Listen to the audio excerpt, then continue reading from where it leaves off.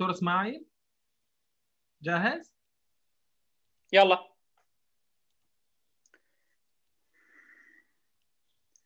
بسم الله الرحمن الرحيم. الحمد لله. اللهم صل وسلم وبارك على نبينا محمد. اللهم علمنا ما ينفعنا وانفعنا بما علمتنا. اللهم إنا نعوذ بك أن نشرك بك شيئا نعلمه ونستغفرك لما لا نعلمه. أه نرحب بجميع الأخوة والأخوات الحاضرين في الملتقى العلمي للجنة العلمية للجمعية السورية للصحة النفسية سمح.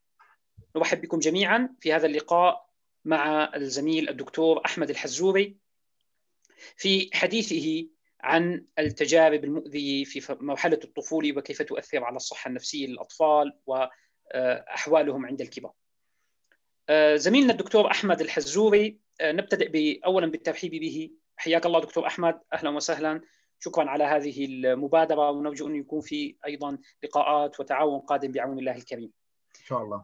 زميلنا الدكتور أحمد هو من خريجي جامعة حلب حائز على شهادة الدراسات العليا في طب الأطفال من جامعة حلب وشهادة البورد العربي في طب الأطفال وحائز أيضا على شهادة ال Facharzt في طب الأطفال من ألمانيا وأيضا على شهادة ال Facharzt في الطب النفسي وعلاجه عند الأطفال والشباب. يعمل منذ عام 2017 في بعيادة للأمراض النفسية. تفضل دكتور أحمد. الميكروفون معك من أجل البداية بتقديم العرض وإذا كان في أي إضافي بالتعريف يعني أنا أنقصت شيء من التعريف ففينك أنت تعطينا إضافي بتعريف عن حضرتك. تفضل الميكروفون معك بارك الله فيك. بسم الله الرحمن الرحيم. شكرا كثير دكتور إسماعيل على المقدمة. أنا ما بشوف حدا منكم بس يعني بتمنى تكونوا عمال تشوفوا المحاضرة بشكل واضح. أنا اسمي أحمد حزوري أنا أخصائي في طب الأطفال وبالطب النفسي عند الأطفال وعم بعمل في ألمانيا صار تقريبا شيء ثلاث سنين. المحاضرة شوي حقيقه عنوان المحاضرة صار فيه شوية يعني خلينا نقول شوية أنا يعني وموضوع شوي سلبي ولكن موضوع جدا مهم. وهو حقيقه من أهم المواضيع اللي بتمسنا نحن كأخصائيين في طب الأطفال أو بالطب النفسي عند الأطفال وبتمس حقيقه كل أب. يعني هي المحاضرة ليست موجهة للأطباء وليست موجهة للأخصائيين النفسيين فقط ولكن ممكن أي حدا يستفيد من هذه المحاضرة. هلا أنا حطيت هون بالسلايد الأول عنواني حطيت إيميلي إيميل خاص وإيميل الشغل في حال كان أي شخص عنده استفسار أو راد يعطيني أي ملاحظة أو راد يسألني أي استشارة فأنا جاهز بإذن الله.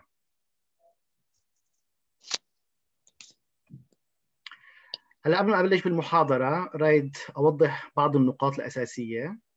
إنه الأخطاء الكتابية أو ضعفي في شرح بعض النقاط هي سببها العمل خارج خلينا نقول نطاق اللغة العربية. فلذلك واحد لغته العربية خاصة الكتابة أو الترجمة من نص ألماني إلى نص عربي أو من نص إنجليزي إلى نص عربي بيكون في شوية ركاكة. فسببه هو يعني ضعفي بهذا المجال. أنا لست أخصائي باللغة العربية. المحاضرة حقيقة هي محاولة ثالثة مني أو خلينا نقول هي آه ثالث محاضرة أنا بعطيها. آه كلهم عن نفس العنوان. المحاضرة الأولى أعطيتها ل... بمدرسة خلينا نقول أعطيتها للجالية العربية هون في ألمانيا الحاضرين كانوا كلهم أهالي. المرة الثانية اللي أعطيتها للمحاضرة طبعا كل مرة بضطر أغير شوي فيها بحسب آه يعني الحاضرين. المحاضرة الثانية أعطيتها للأطف... لأطباء الأطفال اللي بيشتغلوا خلينا نقول بالمقاطعة اللي إحنا عايشين فيها أنا عايش فيها هون. تصريح ثاني حبيت كمان أقوله اللي هو المحاضرة بتقوم على 10 أسئلة راح أوضحها بعدين. ولكن العشر أسئلة هاي متاحة على موقع ال CDC dot gov بشكل مجانا. ما فيها حقوق الترجمة أو حقوق التأليف. آه، وممكن بأي أي شخص يدخل على الموقع ال CDC dot gov وينزل الأسئلة العشرة. في موجود بمتاحة بلغات عديدة إسباني فرنسي. العربي ما موجود حقيقة فهو أنا ترجمته بشكل خلينا نقول شخصي يعني. ممكن أحد الزملاء يقول إنه الترجمة ليست واضحة أو خطأ يعني فطبعا تستحمل التصحيح.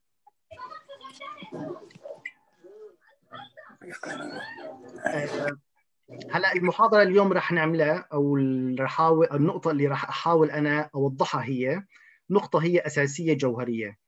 إيش هو الشيء اللي بيخلي الطفل أول ما يولد آه، بكل إمكانياته الغير متناهية إنه يتحول إلى خلينا نقول مدمن مخدرات مشرد وعاطل عن العمل؟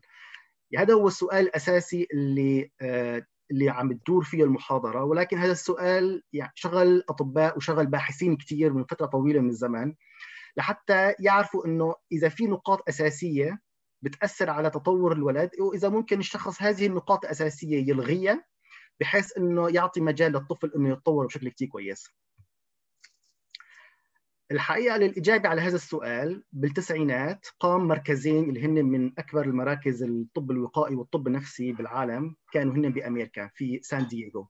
فمركز الطب الوقائي بسان دييغو بالتسعينات اللي هو كان أكبر مركز اللي هو كان أكبر مركز للفحص الطبي في العالم. فاثنيناتهم حاولوا آه هذا المركز السي دي سي خلينا نقول مركز الطب الوقائي و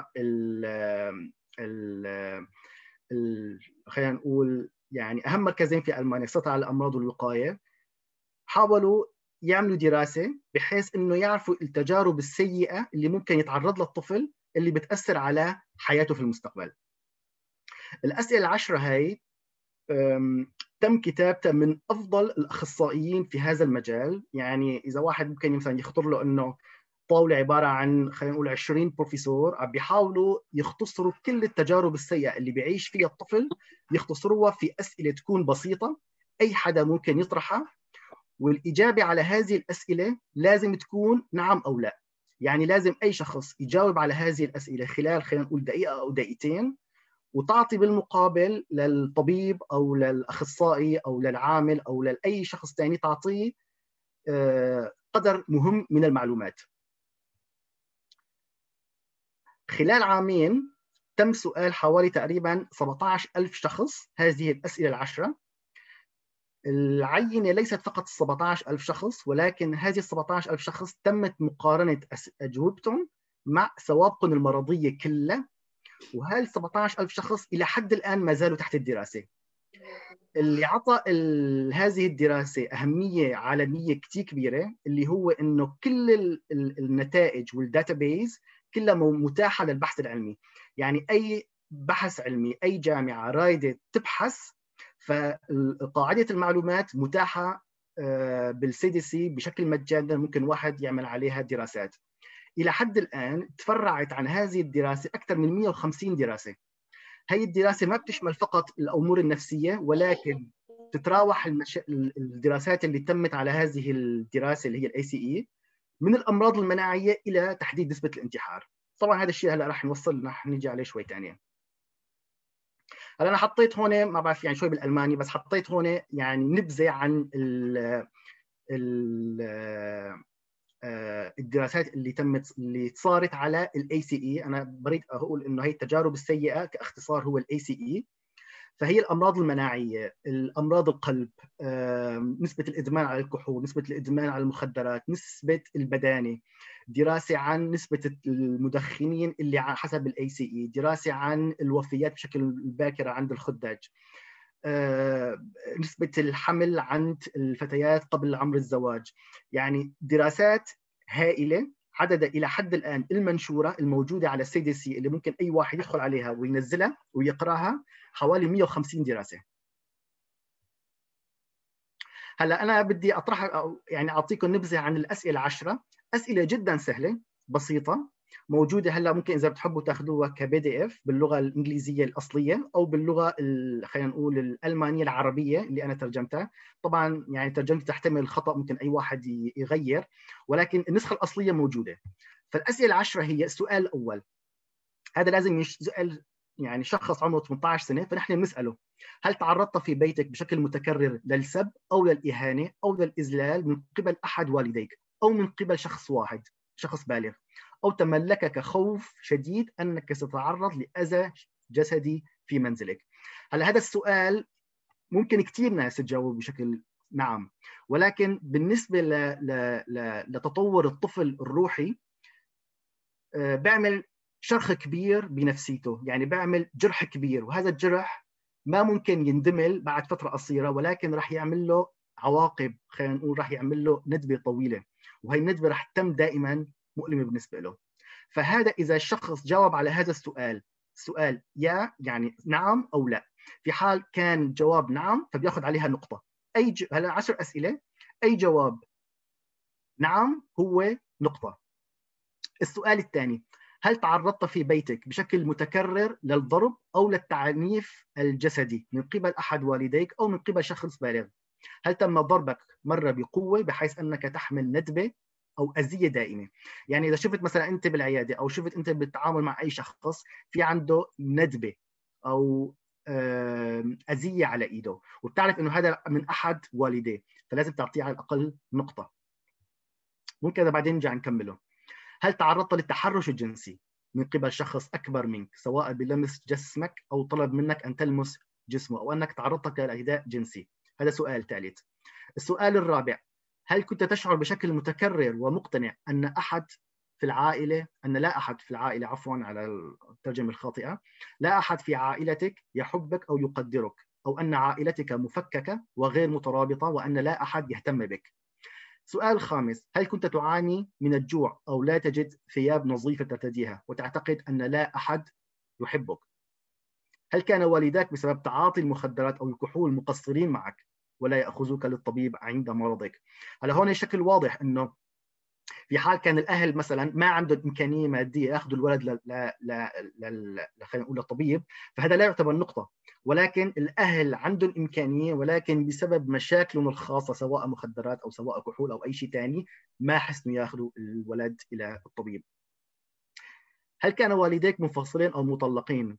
حقيقة هاي النقطة تم كثير عليها آه، خلاف بال خلينا نقول بكل المحافل الطبية إنه هل معقول نعطي نحن خاصة بالمجتمعات الأوروبية أو المجتمعات المجتمع بالأمريكي إنه الانفصال أو الطلاق عند الأهل هذا يعني جدا وارد.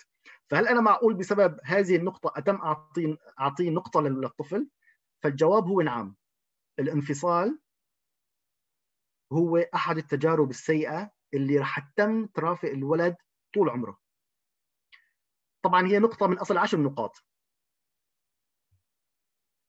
السؤال السابع هل كانت والدتك أو زوجة أبيك تضربك في المنزل بشكل متكرر؟ هل رأيت ولو لمرة واحدة عنف منزلي شديد استمر بضع دقائق؟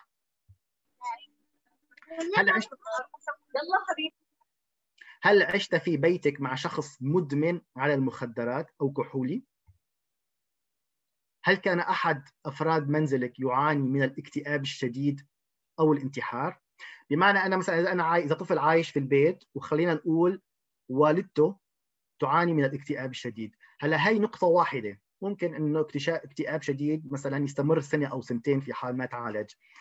فشو هو الندبة اللي ممكن تعمله يعمل مرض أمه على الطفل اللي ممكن تستمر معه مدى حياته. بعد قليل نعرف الجواب. السؤال العاشر اللي هو الأخير هل كان أحد أفراد منزلك في السجن؟ سؤال كثير بتراوح. أنا إيش إيش ذنب الطفل؟ أو إيش الشيء اللي بيأثر على الطفل إذا كان مثلا أخوه أو والده أو أو أي شخص ثاني بالسجن؟ طبعا هذا بيعمل شرخ كبير لأني ال ال ال هالنقاط العشرة النقطة الوحده هي ما هي فقط عبارة عن الأخ كان بالسجن. ولكن وقت بيكون الأخ في السجن فالأم بتكون مكتئبة الأب بيكون متوتر جو البيت كله يكون مفكك. ف يعني ما ممكن يكون إنه في نقطة واحدة ولكن كله كويس، يعني ما معقول إنه تكون الأم عمال تنضرب في البيت من قبل زوجها قدام الولد ولكن كل شيء طبيعي وكل شيء كويس وكل شيء هادئ والجو مؤمن بشكل جيد للولد، هذا الشيء لا لا, لا يمكن. ف فإمكانية أو خلينا نقول احتمال إنه الأم عمال تنضرب أو كمان ممكن يكون الأب عمال ينضرب يعني عشان ما نكون يعني ما ما نظلم الرجال أو نظلم النساء ولكن إنه في حال أحد الأبهات خلينا نقول الأم أو الأب كان عمال ينضربوا فما بتكون الحياة طبيعية في المنزل مع إنه الولد ما حدا ضربه ولا حدا أثر عليه ولا حدا زعجه ولكن الشيء راح يصير عليه بعدين هلا بذكر لكم إياه يعني. فهي الأسئلة العشره موجودة كبي دي إف ممكن أي شخص يحسن ياخذها وممكن يطبقها بالعيادة أطباء الأطفال هلأ عمال يشتغلوا فيها عمال يطبقوها. حتى نحن بالعيادة نحن يعني عندنا كثير بروتوكولات عندنا كثير أسئلة ممكن نعطيها للأخصائية نعطيها للأطفال. ولكن بتم هذه الأسئلة العشرة هي الأساس في مجال عملنا. ليش؟ أو خلينا نقول قد نسبة الإيجابية. هلأ احتمال إنه الطفل ياخذ على نقطة أو نقطتين تم دراسته الدراسه هي أساسا أمريكية ولكن تم إعادة الدراسة في كثير دول أوروبية مثل مثلا ألمانيا أنا عايش فيها هلأ حاليا. اكتشفوا إنه أو انتشار هذه الدراسة طلع جدا كبير بمعنى إنه على الأقل في أمريكا أو أوروبا طفلين من كل ثلاثة كان عندهم واحد من عشرة. يعني برجع بقول العشر أسئلة وكل نقطة أو كل سؤال معتبر نقطة. بأمريكا وبأوروبا اثنين من أصل ثلاثة حصلوا على نقطة. وطفل من كل خمسة حصل على ثلاثة. ثلاثة من عشرة. معنى ذلك إنه انتشار ال ACE أو خلينا نقول التجارب السيئة جدا شائع وجدا منتشر. في دراسة أنا شفتها كمان المملكة العربية السعودية كمان طبقت نفس الدراسة بدراسة بحثية صغيرة بس كمان طلع معه نتائج ليست مختلفة. كان نقول مثلا نحن بالدول العربية ما في عندنا هذا الشيء ولكن هذا الشيء وارد بكل الدول خلينا نقول من أمريكا إلى بلادنا العربية. هلأ إذا انتبهتوا أنتم إنه ما كان في سؤال على اللجوء ما كان في سؤال هل تر هل اضطريت إنه تغادر بلدك بسبب الحرب؟ ما كان موجود.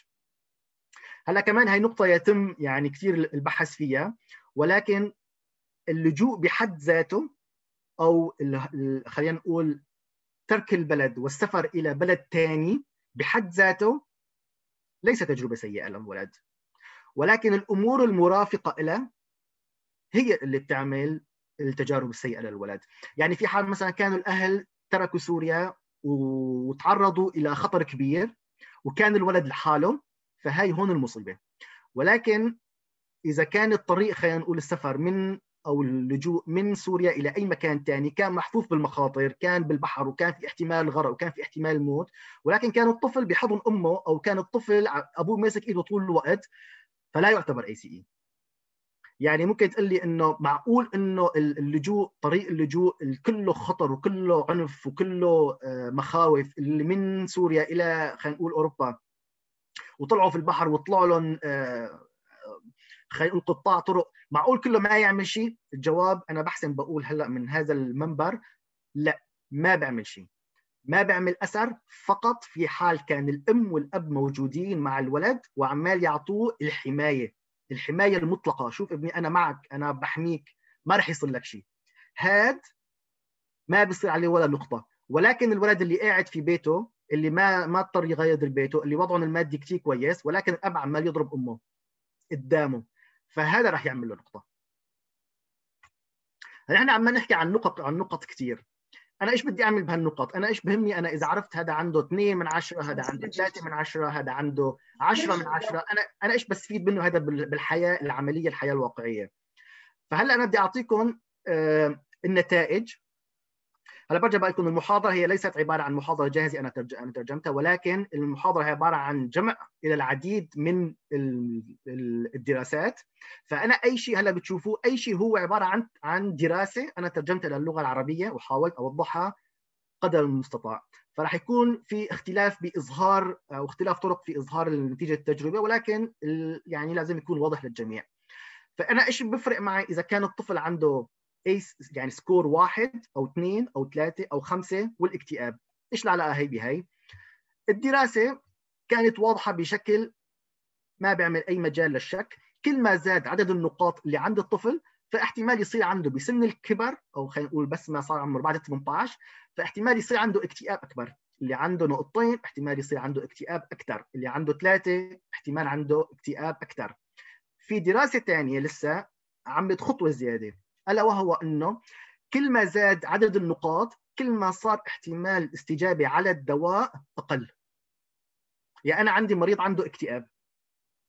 ادويه أدوية معالجة الاكتئاب واضحة وفعاليتها واضحة. ولكن أنا بيجيني طفل عنده مثلا أو شاب عمره هلا 18 سنة وعنده اكتئاب أنا بعطيه دواء الاكتئاب خلينا نقول المعترف عليه يعني المعتاد ولكن ما بيستجيب عليه. فكل دراسة أكدت إنه كل ما زاد عدد النقاط احتمال استجابته على العلاج الدوائي أقل. في دراسة ثالثة كمان كل ما زاد عدد النقاط كل ما ارتفع احتمال الانتحار يعني أنا عندي شخص عنده خمس نقاط فأنا بعرف هذا احتمال الانتحار عنده أكبر. فأنا أي مريض عنده اكتئاب بيجي لعنا العيادة مباشرة بياخذ هذه هذه العشر أسئلة بجاوب عليهم. فإذا إجاني عن شخص عنده اكتئاب بغض النظر عن قصته بغض النظر عن إذا كان عنده لجوء أو منو لجوء بغض النظر عن وضعه الاجتماعي بشوف أنا ال ACE score عنده. إذا كان صفر غير إذا كان خمسة. فإذا كان خمسة مصيبة. لأني العلاج متعب متعب. لأني بدكم تحاولوا يعني تستوعبوا الفكرة إنه كل تجربة سيئة أو كل نقطة هي عبارة عن جرح عانى منه الشخص أثناء طفولته ولم يلتئم بشكل صحيح. والجرح مثل ما بتعرفوا كثير منكم ممكن إذا كان جرح كبير وتعالج بشكل جيد بيشفى خلال خلينا نقول أسبوعين لثلاث أسابيع. ولكن الجرح إذا كان غميق وما تعالج بشكل كويس وانترك ما راح يشفى وإنما راح يعمل خراج تحته. وهذا الخراج ممكن يطول يطول سنين طويلة. فإذا ما انفتح الخراج وتنظف ما راح يطيب. فنفس الشيء كل تجربة سيئة هي عبارة عن ندبة عمال يعاني منها اللي عنده إياها. فالتجارب السيئة والاكتئاب كل ما زاد عدد النقاط صار احتمال يصير عنده اكتئاب أكثر كل ما زاد عدد النقاط احتمال استجابته على العلاج الدوائي أقل. كل ما زاد عدد النقاط كان احتمال الانتحار عنده أكبر. التجارب السيئة والإدمان. الدراسة كانت من من أبسط ما يمكن. الأشخاص اللي كان عندهم أربع نقاط أربع نقاط كان احتمال يصيروا كحوليين سبع أضعاف الأشخاص الطبيعيين. يعني أنت عندك شخص عنده أربع نقاط فبتعرف إنه احتمال يتحول إلى شخص كحولي هو سبع أضعاف الأشخاص اللي ما عندهم ولا نقطة. هذا ترجمتي البسيطة لدراسة. التجارب السيئة والأداء المدرسي. يعني إيش علاقة ال ACE إيش علاقة ال ACE score أو إيش علاقة التجارب السيئة بأداء الطفل المدرسي؟ يعني إذا الأم عمال تنضرب في البيت بيأثر على أدائه المدرسي؟ طبعا. إذا واحد من الأخوة بالسجن أو الأب بالسجن بيأثر على أداء الطفل المدرسي؟ طبعا. فالدراسة أكدت إنه نصف الأطفال اللي حصلوا على أربع نقاط كان ادائهم المدرسي سيء بينما الأطفال النسبة هي بشكل عام 3% من الأطفال اللي عندهم اللي ما عندهم اي سي اي اللي ما عندهم تجارب سيئة 3% عندهم خلينا نقول أداء مدرسي سيء ولكن نصف الأطفال بالضبط اللي كان عندهم أربع نقاط كان ادائهم المدرسي سيء. هلا في نقطة كثيرة ما كثير حدا بيحب يسمعها ولا حدا بيحب يحكي عنها ولكن هذا واقع. التجارب السيئة واحتمال ال ACE score خلينا نقول النقاط الإيجابية اللي أو النقاط السلبية أو الاي النقاط ال ACE اللي أو التجارب السيئة اللي حصل عليها الطفل أو الطفلة واحتمال تعرضها للاغتصاب. ليس فقط أثناء مرحلة ال 18 سنة الأولى من عمرها ولكن طول عمرها. فالدراسة تمت ببلد الدراسة. في بلد الدراسة كان احتمال التعرض للاغتصاب خلينا نقول الفتاة هو 3% بأمريكا هي الدراسة. ولكن في حال كان عندها أربع نقاط فاحتمال تعرضها للاغتصاب هو 33% فالسؤال أنا إيش يعني شلون ممكن واحد يربط هي بهي يعني أنا إذا كانت مثلا الطفلة عمال تضرب في البيت من أبوها من أمها ليش لا لا يزيد احتمال تعرضها للاغتصاب بعد ما تطلع من بيت اهلها بعد ما تسكن لحالها ما لها علاقه هي بهي يعني خلص لازم تتجاوز الشيء اللي صار في الماضي ماضي خلص يعني انتسى ما بنتسى بيصير الطفل بس ما يكبر أو بتصير الطفلة بس ما تكبر شخصيتها ضعيفة تواصله مع الناس مضطرب فاحتمال تعرضهم للاغتصاب يكون أكبر. النقاط الأربعة يعني وجود أربع نقاط ف 33% منهم راح يتعرضوا للاغتصاب مع الأسف. هلا التجارب السيئة والأمراض المناعية. هلا أنا طلعت بشكل كل البعد عن اختصاصي اللي هو الأمراض النفسية؟ ولكن وصلنا إلى مرحلة الأمراض المناعية يعني إيش نقطة الوصل بين التجارب السيئة اللي بعدي فيها الولد والأمراض المناعية يعني مفروض الإنسان يعني الإنسان المنطقي إنه بقول لك هذا يعني ليس المنطق ولكن الحقيقة تماما معاكسة. أحد الدراسات الأمريكية أكدت إنه كل نقطة اي كل نقطة تزيد احتمال الاستشفاء في المدر في المشفى بسبب تعرض إلى الامراض المناعية. عن أي أمراض مناعية نحن عمال نحكي؟ عم نحكي نحن عن كل هالأمراض المناعية الداء السكري النمط الأول الأمراض المناعية للغدة الدرقية فقدان الشعر أو خلينا نقول تساقط الشعر الداء الصداف الداء الزلاقي خلينا نقول الأمراض الرسوية التهاب الكبد المناعي. هي كلها أمراض مناعية مفروض يعني ما يكون لها علاقة بال خلينا نقول بالتجارب السيئة ولكن حاليا هذا واقع. وكل وحده منهم هي عبارة عن دراسة موجودة بال CDC ممكن واحد ينزلها ويشوف الدراسة. ما هو اختصاصي أنا الدقيق لحتى أحسن أقول لكم إنه ليش بصير معهم الأشخاص يتعرضوا أثناء ال ال ال اول 18 سنة من عمرهم تعرضوا مثلا للضرب في البيت أو كانت أمهم عمال تنضرب في البيت ليش صار احتمال يصير عندهم هاشيموتو مثلا أكثر من غيرهم؟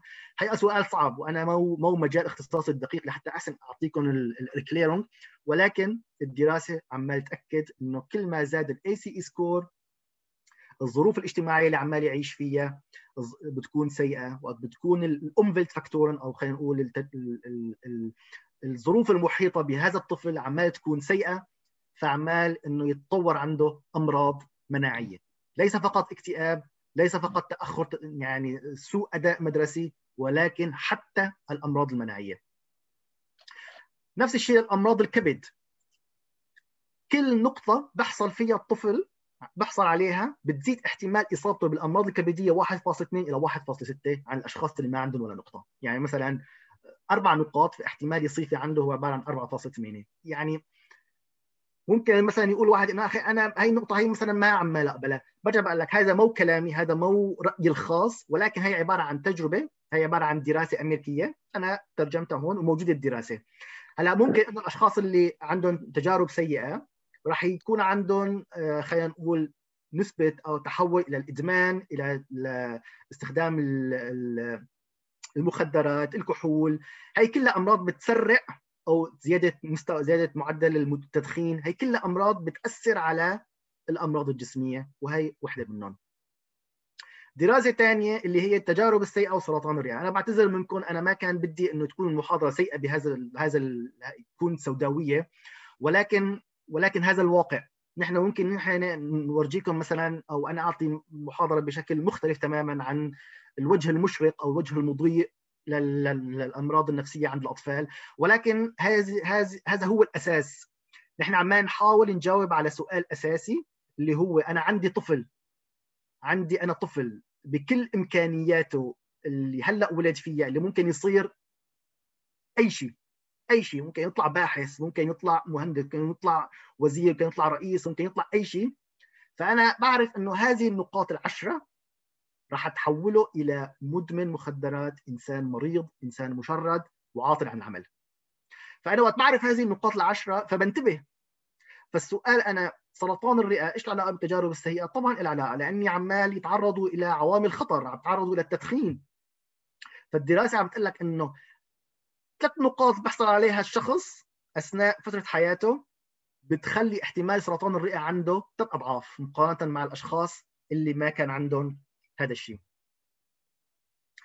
هلا السؤال الأساسي اللي هو يعني بنطرح. طيب يعني النقاط هي السلبية ال ACE هي عبارة عن 10 نقاط وهي تعرض لها الطفل خلال أول فترة من حياته أول خلينا نقول 18 سنة. ممكن بعدين للمستقبل إنه يتجاوز هذه النقاط يتجاوز هذه المرحلة وكل هذه الجروح اللي تعرض لها تلتئم من دون ما تترك خلينا نقول ما ما يعني من دون ما تترك ندبات كبيرة. ممكن يعيشوا حياتهم بشكل آه، بدون مشاكل. حقيقة جواب يعني سؤال صعب كثير وأنا حطيته هون وفي دراسات كمان هلأ موجودة ولكن حبيت أظهر لكم إياها. قد يكون هذا الشيء خطأ ولكن دراسات عمال تأكد هذا الكلام ألا وهو؟ حتى مع تقدم العمر. يعني صار عمره 20 سنة 30 سنة 40 سنة. الشيء اللي تعرض له الشخص أثناء فترة حياته ما حسنوا يتجاوزوها. إيش معنى هذا الكلام؟ أحد الدر... في دراسات كثير بتقول لك إنه كل ما زاد عدد النقاط ال ACE كل ما كان هذا الشخص عنده مشاكل بعمله. بمعنى إنه ما عمال يشتغل بشكل كافي. عنده وظيفة ولكن ما عم بحسن بيروح عليها كل يوم. دراسة ثانية حطت أظهرت العلاقة بين زيادة عدد النقاط وقلة الدخل السنوي. يعني الأشخاص اللي كان اللي كل ما بيزيد عندهم عدد ال ACE عدد النقاط كل ما صار كل ما كان دخلهم السنوي أقل.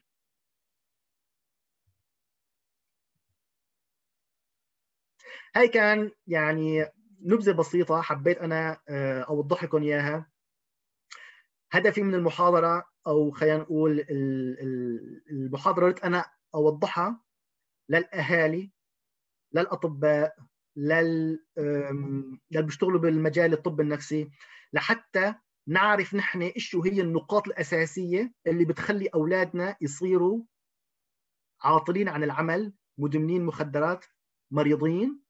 وبالمقابل أنا كشخص كأب كطبيب كمعالج كشخص سياسي يعني منتج في المجتمع أنا بعرف هذه النقاط وبحاول بوضح غيري على هذه النقاط بحيث إنه في حال إذا حسنا هذه النقاط نلغيها نعمل خلينا نقول توعية لأهل ويحسنوا هذه النقاط يلغوها اللي ممكن الغائها بسهولة، يعني هو ما مكتوب إذا عندك مصاري في البيت أو ما عندك مصاري، ما مكتوب إذا عندك بيت فيه حديقة أو ما عندك، ما مكتوب إذا أنت عايش في ليبيا أو أنت عايش في سوريا أو أنت عايش في ألمانيا، ابدا، ولكن كلها نقاط ممكن إذا الإنسان كان بده ممكن يلغيها بحيث إنه أأمن لابني مستقبل جيد. فأنا ابني مو بحاجة لأنه يكون في أمريكا أو ليكون في فرنسا ولكن ابني بحاجة لأم وأب وين ما كان يكونوا ينتبهوا عليه ويحموه من أي شيء ثاني يعني تماما.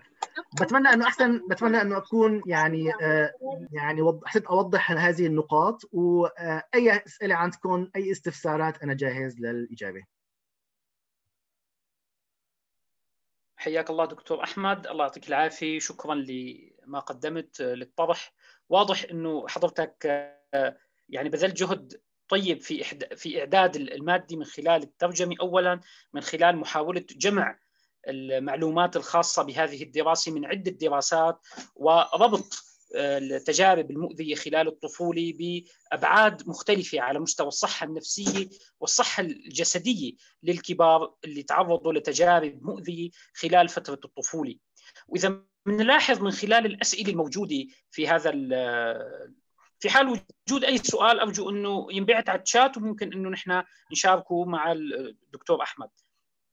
بنلاحظ إنه من خلال هذه الأسئلة اللي العشرة اللي موجودة في أسئلة متعلقة بعلاقة الطفل بوالديه أو بمقدمي الرعايه واللي هي أسئلة متعلقة بقيام مقدم الرعايه أو الوالد أو الوالدة بشيء من التهديد أو الضرب أو الإيذاء أو تعرض الطفل للتحرش الجنسي وفي وبالمقابل في هناك أسئلة متعلقة بالأهل وصحتهم النفسية أو أداء أو وضعهم الاجتماعي. فنحكت أسئلة عن موضوع الطلاق والانفصال أسئلة متعلقة بوجود مرض نفسي عند الأب أو الأم أو إدمان آه، أو وجود آه، حالة آه، سجن قد تكون لأسباب مختلفة في هذا البيت.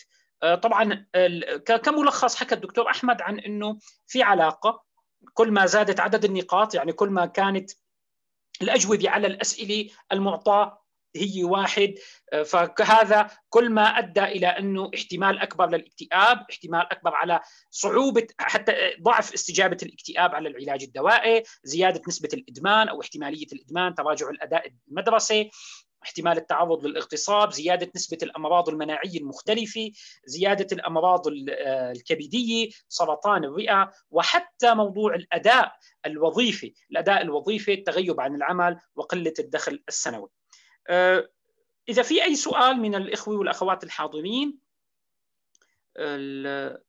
الدكتور جاسم آه، عنده سؤال. إذا بتفضل دكتور جاسم تحكيه صوتيا تفضل. تفضل تكتبه كتابة تفضل. السلام عليكم. السلام ورحمة الله. آه شكرا دكتور على المحاضرة الحلوة. أهلا وسهلا. بس, آه بس أنا لاحظت كثير من النقاط اللي ذكرتها والتي عبرت عنها بأسئلة معينة. طبعا البحث هو بحث غربي وبحث يعني تقريبا أكثر العوامل الموجودة آه يعني ماخذة بعين الاعتبار الثقافة الغربية. وهنا يعني إذا بدنا نحكي إحنا بشكل عام إما بدنا نخصص إنه هذه الدراسة يعني أجريت في المجتمعات الغربية ولم يعني أما في مجتمعاتنا هناك مثلا السؤال الأول طبعا بعدم قصد أغلب أغلب الأشخاص يعيشون في مجتمع عربي ضربوا من أهلهم ها. اذا بدنا نشوف إنه ما هو الدور العامل الحضاري أو دور العامل أو المجتمع أو العامل الثقافي ما هو دوره في هذه الدراسة؟ وهل وهل أخذ بعين الاعتبار في هذه الدراسة؟ وشكرا لكم. حقيقة سؤال سؤال جدا جميل و ودائما دائما خلينا نقول أنا هذه المحاضرة ألقيتها كمان في كمان يعني قبل كورونا كمان ألقيت نفس الفكرة تقريبا بألمانيا هون. فانطرح نفس السؤال من أحد الزملاء الأطباء الفلسطينيين إنه هو عاش بفلسطين و وكان يعني خلينا نقول الضرب وارد وما وكلياتنا نجحنا وكلياتنا صرنا وكلياتنا. يعني ما بحسن ما بحسن بقول لك ما بحسن بقول لك إنه هذا الشيء ما ممكن يعمل ندبات. يعني أنا أنا عمال أشتغل هون بألمانيا بعيادة وأنا عمال يجيني عدد هائل من ال... خلينا نقول من الشباب اللي تعرضوا لل للضرب هن وقت كانوا صغار. فهذا كله عبارة عن خلينا نقول قنبلة عمال تكون موجودة عند الطفل وفي حال بس ما كبر تعرض لضغط في المدرسة في الشغل تعرض لضغط بالحياة الزوجية. هذا كل شيء بيطلع. يعني أنا وقت بكون مثلا في بيت أهلي عمال أنضرب فأنا بس ما أتزوج ويصير عندي أولاد فأنا راح أعمل نفس الشيء كمان. ف يعني الضرب في البيت بغض النظر عن العادات والتقاليد والثقافات مو مقبول. بالإسلام كمان مو مقبول. هلأ بتقلي مثلا إنه هي دراسة بمجتمع غربي بمجتمع أمريكي بمجتمع أوروبي. على العين والراس ولكن إذا أنت طلعت على البحث العلمي ف 99 مع الأسف يعني 99.99% من كل الأبحاث هي أبحاث أمريكية وأوروبية يعني بالدول العربية ما عمال يصير في يصير دراسات. حتى الأدوية الأدوية كلها عمال تطبق عمال تسوى في بلد ثانية مثلا لو ممكن تقول لي مثلا الكورونا لقاح الكورونا تم إنتاجه مثلا بالتعاون بين ألمانيا وأوروبا بين عفوا بين ألمانيا وأمريكا. وهذا اللقاح عمال يكون فعال. ببلدان العربية. فليش أنا آخذ هذا الشيء إنه فعال في بلدان العربية وما آخذ درا... مثل هي الدراسة؟ يعني أنا أقول ثقافي أنا معلش أضرب ابني بس بأمريكا ما بصير يضرب ابنه. لا. ما هذا الشيء ما بقبله. فالأدوية اللي بت... اللي بتكون فعالة في المجتمع الأوروبي أنا بقبل إنه تكون فعالة في في المجتمع العربي. بس ال... ال... بالبلدان الأوروبية والبلدان الأمريكية ما بصير يضربوا أولادهم بس أنا بصير أضرب أولادي. هذا الشيء مو مقبول. نحن يعني أولادنا نحن مسؤوليتنا كلياتنا إنه نحمي أولادنا من أي ظروف سلبية. ليس فقط مهمتنا انه نأمن لهم أكل نأمن لهم طعام نأمن لهم يعني حاجاتهم الأساسية ولكن نأمن لهم جو مناسب وهذا الجو ببلش في البيت. أنا وقت بضرب ابني فأنا بكون عمال أحجم له مستقبله وعمال اعطيه يعني نقطة راح يتم يشيلها طول عمره. وأسأل الله إنه ما أكون أعطيت أولادي هذه النقاط. وهذا الشيء اللي نحن لازم نرجع نعطيه لغيرنا ولازم نوعي مجتمعنا العربي مجتمعنا السوري مجتمعنا العربي بشكل اجمالا إنه الضرب في البيت للأطفال مو مقبول. دكتور أحمد في سؤال من الأستاذ زيد. بيسأل هل هذه التجارب متساوية بنفس الأهمية والأثر أم أنها مختلفة بأثرها؟ يعني سؤال ما ما بحسن ما عندي ما عندي جواب واضح ولكن الدراسة كانت يعني خلينا نقول يعني بتشمل كل الأمور الأساسية. يعني ما هو الأساس؟ هل هو الأساس ما هو خلينا نقول الأذى الأكبر؟ العنف الجسدي أم العنف النفسي أم الجن... الإهمال العاطفي في البيت؟ يعني أنا مثلا نعم. وقت اللي بضرب ابني في البيت فهذا عنف جسدي. وقت اللي أنا ببهدل ابني وبصغره وبحقره فهذا يعني أذى نفسي. أنا وقت ابني في البيت ما أنا ملتهي بالكحول تبعي ملتهي بالمخدرات تبعيتي فأنا ابني مالي عارفان إيش ما إيش بده. فأنا أهملت ابني. مين هو اللي الأثر الأكبر؟ هاد ولا هاد ولا هاد؟ ما بعرف. ولكن اللي نحن بنعرفه إنه كلهم بيعملوا اثر عن أثر أساسي عند الطفل. وبرجع بقول لكم هذه الدراسة أو خلينا نقول هذه الأسئلة العشرة ما حط شخص أو شخصين أو ثلاثة وإنما حطوها أهم عشرة بروفيسورية في أمريكا تموا يعني في كثير كتب بتوضح إنه خلينا نقول كيف توصلوا إلى هذه العشر أسئلة.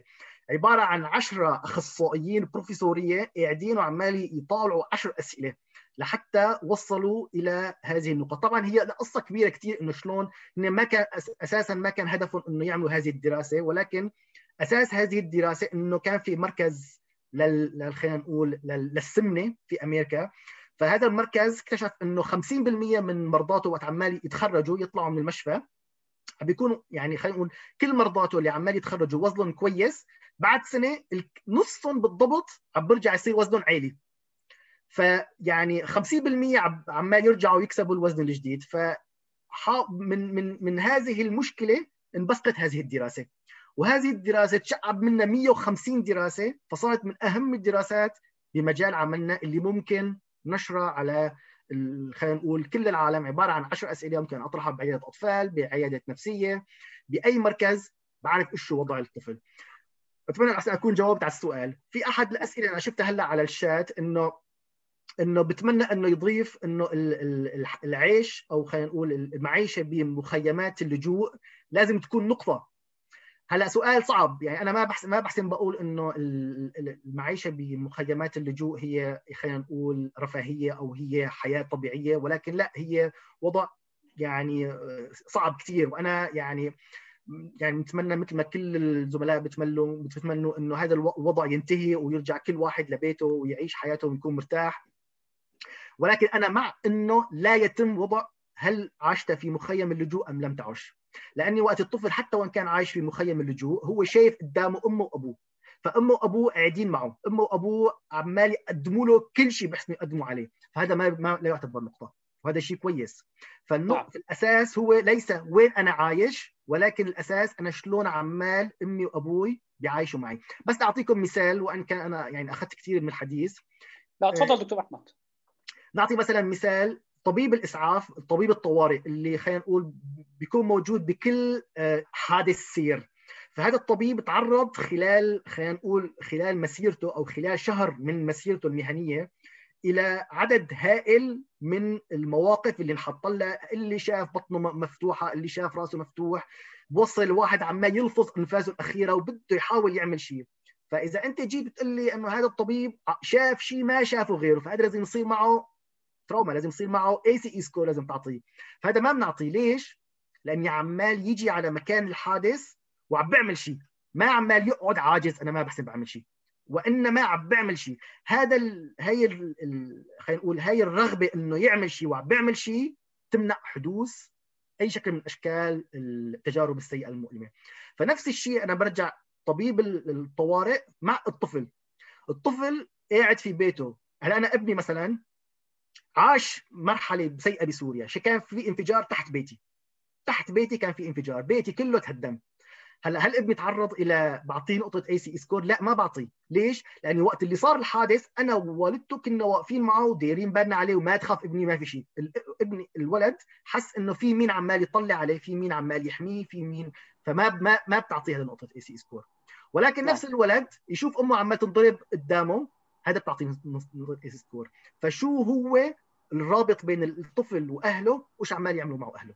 وهون ما له علاقة أمريكا ما له علاقة أوروبا ما له علاقة وين الولد عايش. اللي له علاقة الرابط بين الولد وأمه سواء كان بمخيم اللجوء أو سواء كان عايش بنيويورك. نعم. اذا دكتور أحمد أنت دائما بالأجوبة وبأكثر من آه، سؤال وتعقيب بتأكد على دور الوالدين دور الوالدين بعلاقتهم المشتركة بيناتهم وبعلاقتهم آه، قيامهم بواجباتهم النفسية والاجتماعية تجاه أولادهم من تلبية الاحتياجات النفسية لهذا لهؤلاء الأطفال. في نعم. عندنا سؤال بشأن عينة الدراسة هل هناك دراسة طبقت فيه على عينة مميزة في المجتمع كالأطباء ومدرسي الجامعات وغيرهم من المتفوقين؟ ما بعرف ما ما ما أعرف. ما أعرف. ولكن سؤال سؤال ظريف سؤال جميل. ولكن يعني ممكن صاحب السؤال يدخل على CDC dot gov يعني ACE score راسا نعم. بشوف كل الدراسات الموجودة وبحسن راسا يأخذ جوابه. بس ما عندي جواب لسؤاله. نعم. طيب. في سؤال من الأستاذ أحمد مصطفى آه، بيسأل شو هي المتغيرات الوسيطة اللي لاحظت حضرتك بتكون عامل لتطور الاكتئاب أو الادمان عند هؤلاء الأولاد؟ ولا كل ولد من الأولاد رح يتطور لديه الاضطرابات؟ هل هناك عوامل وسيطه مثل انماط الشخصية أو الدعم الاجتماعي المجتمعي أو غيره؟ طبعا أكيد يعني خلينا نقول اللي عنده مثلا ACE score مثلا عنده ثلاث نقاط فهذا ممكن يصير معه اكتئاب ممكن يصير معه أي شيء ثاني شو الشيء اللي بيخلي حدوث التطور الاكتئاب عنده؟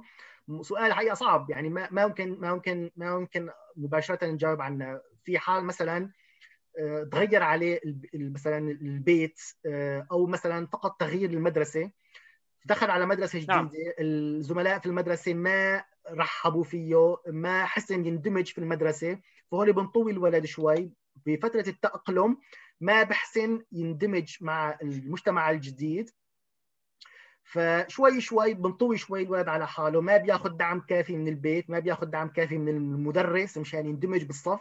فشوي شوي بتطور عنده اكتئاب وقت بتطور عنده اكتئاب رفقاته ما بحبوا كثير يلعبوا معه لأني مثلا مو مو ولد فرح ما كثير فبعزلوه أكثر بيزيد مرحلة الاكتئاب بدخل بمرحلة اكتئاب الحاد. ما بحسن بروح على المدرسة بتم قاعد في البيت فهذا صار معه اكتئاب. فممكن مثلا أو والدته توفت أو مثلا يعني أسباب الاكتئاب كثير كبيرة. يعني طبعا إنه الوقاية عوامل الوقاية أساسية اللي هي يعني بتحمي الولد من حدوث أمراض كثير ففي حال نقصت الوقاية وكان في عنده ACE score فاحتمال أي شيء يحدث يحدث على حياته يأثر يصير عنده اكتئاب أو أي مرض ثاني يعني نعم. آلية تطور المرض ليست سهلة ولكن بكل طفل لازم نبحث عن شو هو السبب المحرض أو اللي خلى يعني يصير عنده آه، آه، هذا الاكتئاب. يعني مثلا مثلا بشبهها مثل كومة قش يعني مع الأسف يعني أو عذرا يعني التشبيه. مثل كومة قش محطوطه بمكان مو محروس بشكل جيد. ممكن درجة حرارة مثلا 35 تخليها تحترق. أو ممكن يعدي واحد شارب سيجارة عمال يدخن زت عليها تحترق. فبمعنى إنه هي قابله للاحتراق بشكل كثير كبير بدها بس شعلة. فممكن هي الشعلة تكون مشكلة في المدرسة ممكن تكون جاره في البناية بهدله أو مثلا تلفزيون كسر. يعني ما بتعرف إيش هو الشعلة فهل هو الشعلة هي هي اللي اللي خلت الاكتئاب أو أو الخوف أو أي شيء يتطور ولا الأساس اللي هو التخزين السيء والكومة الاشياء الموجودة كلها فوق الطفل؟ نعم. طيب آه الانسي آه هند عندها سؤال كم مجموع النقاط التي على أساسها ممكن نتوقع اضطراب هذا الطفل مستقبلا؟ إيه، أنا أنا أنا ذكرت هذا هذا ذكرت هذا هي هي النقطة تماما إنه كل ما يزيد عدد النقاط كل ما صار الوضع اسوء فإذا قلنا نعم. واحد احتمال بيكون ساعته ضمن المقبول يعني ام والأب انفصلوا هي نقطة. هي نقطة. يعني الانفصال هو يعني أبغض الحلال. يعني الطلاق وارد ومنتشر في كل المجتمعات من المجتمعات العربية إلى المجتمعات العلمانية. مش موجود بكل المجتمعات. نعم.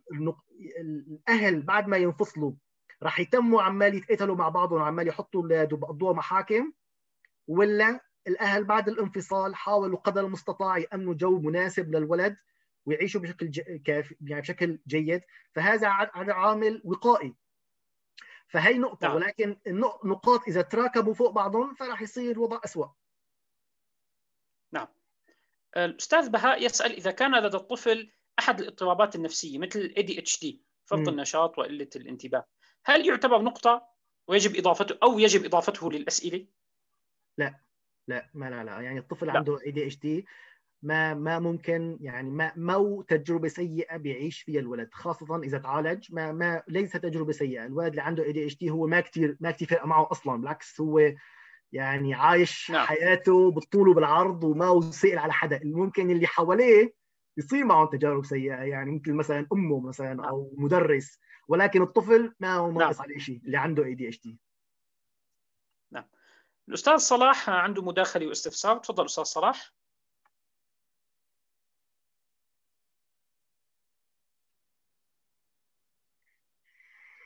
معنا أستاذ صلاح اذا تفضل.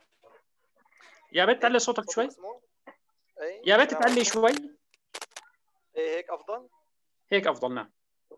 إيه تمام. يعطيكم العافية. شكرا للدكتور أحمد. الله يجزيك الخير على هذا العرض والدراسة. وشكرا دكتور إسماعيل. هلا صراحة اللي بدي هيك ارجع نوه له وأكد عليه قضية العامل الحضاري اللي نوه لها الدكتور جاسم. إنها كثير مهمة. بدي أعطي مثالين. طبعا بدنا نأكد إنه العامل الجوهر الإنساني واحد بأي بلد في العالم بأي جغرافيا بالعالم. الأطفال بأي مكان تعرضوا للعنف الأسري فهذا الشيء أكيد حيترك فيهم أثر.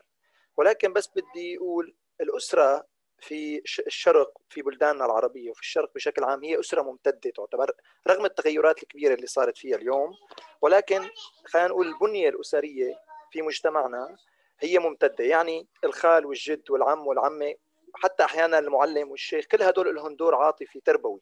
يعني الطفل بيتلقى من هدول دعم بيتلقى من هدول مساهمة في التربية ومساهمة في التنشئة. هذا بيعني بالمقارنة مع الأسرة في مجتمعات الدراسة آه، المجتمعات اللي طبقت فيها الدراسة. هنيك المقدم الرعاية هو شخص واحد أو شخصين الأب أو الأم أو أحدهما. بالمقابل مؤسسات البلد مؤسسات الدولة تقوم بدور كثير كبير في تنشئة هذا الطفل. مهنيا وليس بالضرورة عاطفيا. اللي أنا هون عم عم بحكي إنه أنت هذا الطفل إذا تعرض للتعنيف من هذا الشخص الوحيد أقصد في مجتمع الدراسة الشخص الوحيد اللي هو بيقدم له البعد العاطفي والتربوي هي كارثة كبيرة ونهاية العالم متوقع يكون أثرها كبير. وفي المجتمع العربي أو السوري لو تعرض الطفل لعنف من أمه وأبوه أكيد حيكون أثرها كبير. ولكن أعتقد سيكون الأثر مختلف. هاي أول نقطة تتعلق بالعامل الحضاري. مشان هيك يمكن اللي حكى أكثر من حدا أو سأله مهم ينحط بالبال حتى يعني ما ننزل أو نعمم دراسة. هي بنت مجتمع بنت بنيتها بنيه هذا المجتمع الأسرية والحضارية على مجتمعات أخرى مختلفة كليا في بنية الاسره فيها وبنيه المجتمع. هي النقطه النقطة الثانية حأذكر مثال أحد الأسئلة كان عن السجن. الأسئلة العشرة تدور حول الأسرة والعنف الأسري. في مجتمعنا السوري حوالي مئات الآلاف من المفقودين أو المسجونين القضية هون مختلفة شوي. يعني إذا اجينا طبقنا هاي الدراسة بمجتمع الأسئلة العشرة على الحالات في العيادات النفسية في مجتمعنا العربي والسوري هذا السؤال ما كثير له معنى. لأنه هذا السؤال آه، المسجون في مجتمعنا أغلبهم ليسوا قضايا جنائية إنما ربما قضايا سياسية قضايا نضالية. فقيمة المسجون في مجتمعنا هي قيمة مختلفة عنها في المجتمع الغربي. بس حبيت نوه لهدول التنتين. وشكرا جزيلا لكم والله يعطيكم العافية. شكرا شكرا كثير على المداخلة. يعني حقيقة يعني أنا أتوافق معك بكثير مما قلت. آه، ولكن كمان عندي رأي. أنا لا أدافع عن نقول الدراسة يعني أنا لم أشارك فيها ولا ولا بأي شكل من الأشكال. ولكن أنا باختصاصي يعني نحن بنعرف إنه طبعا بالمجتمعات العربية في نحن يعني العيلة الخالة الجد هذا الشيء ما موجود في المجتمعات خلينا نقول الأوروبية أو الأمريكية وهذا الشيء صحيح هذا الشيء أكيد بيلعب دور.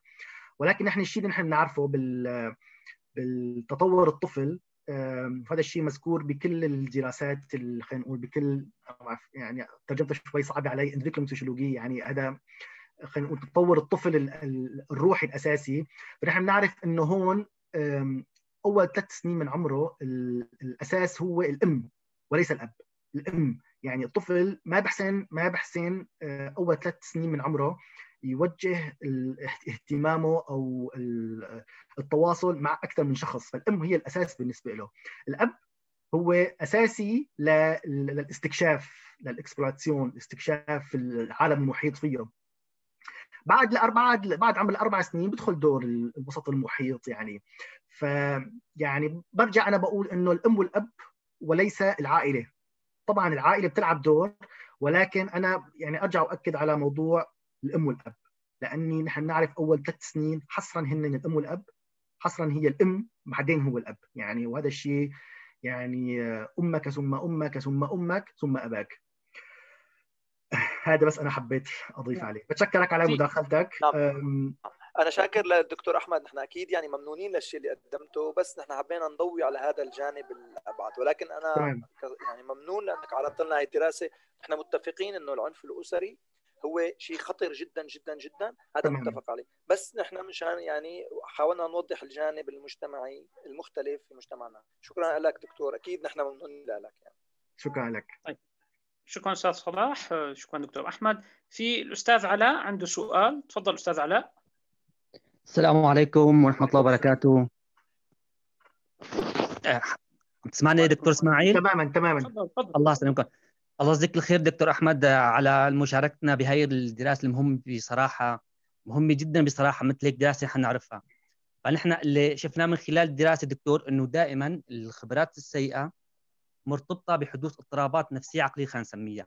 تمام. فنحن كأخصائيين نفسيين ممكن يعني عندنا القدرة إنه نتعامل مع هيك أحداث سيئة لنحاول إنه نطالع مثل ما حكيت حضرتك إنه الطفل نساعده إنه يطلع من هاي الخبرات السيئة بوقت مبكر مشان ما تستمر معه وتكبر معه. بس أنا سؤالي إنه هو هيك من باب الاستفسار دكتور يعني خلينا على إنه ارتبطت بالأمراض المناعية. تمام دكتور؟ يعني هو مجرد والله هيك يعني حب معرفي وسؤال.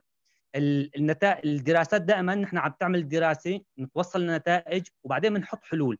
حضرتك عم تقول إنه هي الدراسة لسه لهلأ ساعتها هي بطور ساعتها عم يشتغلوا فيها. يعني هلأ من ضمن اللي ربطناها نحن شفناها بالدراسة إنه بالأمراض المناعية مثل الكبد والجلد وكذا وإلى وإلى آخره. فنحن بنعرف مرض إنه مثلا هو خلينا ناخذ مثال مرض البهاق مثلا دكتور. هو مرض مناعي. فنحن اللي بينصاب بمرض البهاق كل أطباء الجلديه بيجمعوا إنه ما في علاج له بصراحة مم. إلى الآن. بيقول لك ما في شيء. فبيقول لك إنه نحن بنرجعه 50% للحاله النفسية. طيب هل يا ترى نحن ك يعني الأطباء النفسيين وبيشتغلوا بمجال نفسي إذا في حال تم معالجة هذا الطفل من الخبرات السيئة اللي تعرض لها بحياته إنه ممكن هو اذا يتشافى من مرض البهاق مثلا؟ إذا نحن كعامل آه، عضوي بيولوجي ما في شيء بيقول لك دكتور جدي أخي هو مرض ما في علاج. فنحن إذا تعالج إذا عالجناه من هي الصدمة خلينا نسميها النفسية مثلا إنه ممكن هو يشفى مرض البهاق لأنه إحنا إذا وصلنا لمثلك نتيجة فبيكون هذا يعني شيء رائع جدا جدا. أنا أخذت مثال بس دكتور بالأمراض المناعية يعني. والله يجزيكم الخير. وهو دكتور يعني يعني هو ممكن ما يكون هلا في جواب على هذا السؤال بس أنا حبيت بس كثير هاي النقطة بصراحة. تماما. هلا أنا, أنا تماما. هلا أنا بالنسبة لموضوع ال ال علاج البهاق بعلاج خلينا نقول التجارب السيئة اللي عاش عاش فيها الولد ما عندي جواب له ولكن عندي جواب شبيه له اللي هو في هو شائع كثير وفي دراسات بتأكده اللي هو علاج الربو النفسي. آه، بمعنى إنه في كثير دراسات وهذا الشيء نحن بنلمسه بالواقع إنه الأطفال اللي عندهم ربو هدول إذا أنت اشتغلت معهم نفسيا فبتقلل عدد الهجمات اللي بتستوجب دخوله إلى المشفى.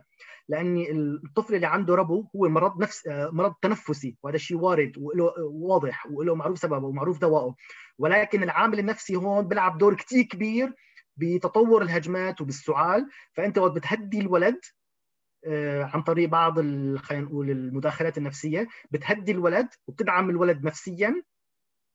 فاحتمال يعني احتياجه للدواء واحتمال استطبابه في المشفى بقل.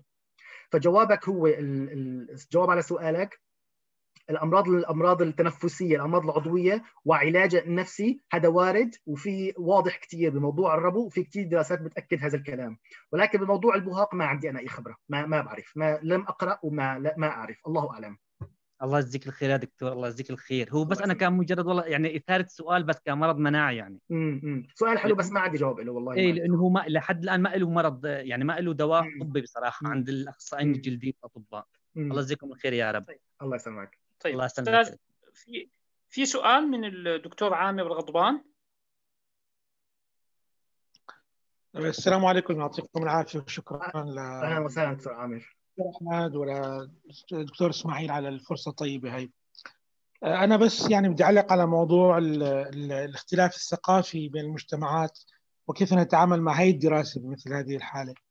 هلأ هاي الدراسة أكيد بثقافات مختلفة ولكن أعتقد إنه ليس معنى ذلك إنه لازم نحيدها أو لازم نبعدها لأنه نتائجها بقدر كبير من الأهمية خاصة إنها واسعة. يعني بمعنى إنه مثل ما ذكر أحد الإخوة إنه بتلامس خلينا نقول يعني الذات النفسية الإنسانية بغض النظر عن الحضارة. لكن كيف نتعامل مع هي النتائج؟ هلأ هون من المهم إنه نحن نعرف نحن كمجتمع احتياجاتنا. يعني هذه الدراسة أعطتنا أهمية لكثير من العوامل مثل مثلا مضاعفة آه، عامل الاكتئاب بسبب وجود عاملين مضاعفة يعني آه، احتمال وجود الاكتئاب بسبب وجود فقط عاملين من العوامل. بمرحلة متقدمة. فأمثال هي الفرضيات وأمثال هي النتائج ممكن تكون مفيدة لنا يعني بإعادة دراسة على ممكن تكون بعينات أصغر وبشروط أكثر أكثر محدودية حتى نوصل منها لشيء يفيدنا تماما نحن نحتاجه. وهون أنا يعني ممكن نقدم بعض يعني بعض الاقتراحات مثلا بهذا الموضوع. آه، في مثلا اقتراح متعلق بموضوع المتغيرات الوسيطة اللي صار سؤال عنها آه، الدكتور أحمد عم يقول إنه يبدو إنه يعني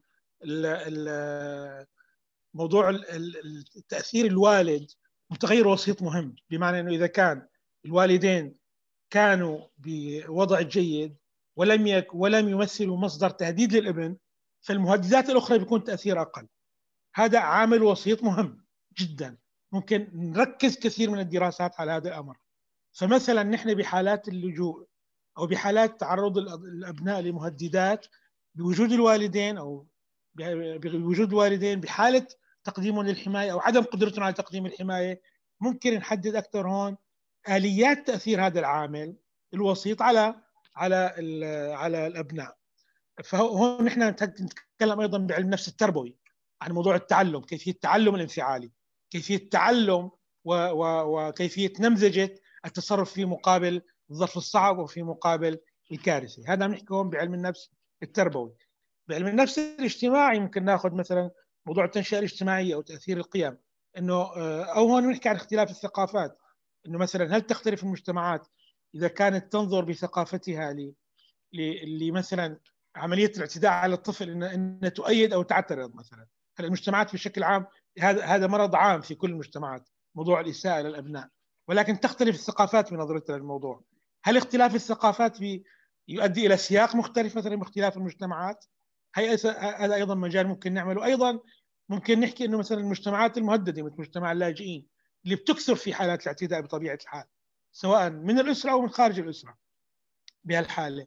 ف آه، المجتمع المهدد اللاجئ أو النازح أو غيره قديش متوقع في احتمالات لهذا الموضوع؟ وهذا بوصلنا يعني ل...